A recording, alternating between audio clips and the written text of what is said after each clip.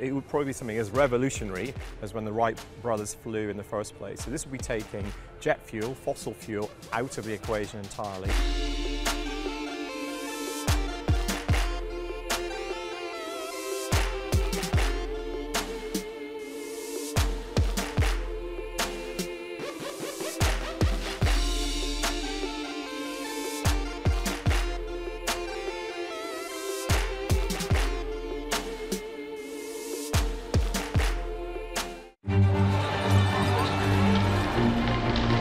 The President of the United States, Donald J. Trump. The fundamental question of our time is whether the West has the will to survive. This is an historic moment from which there can be no turning back.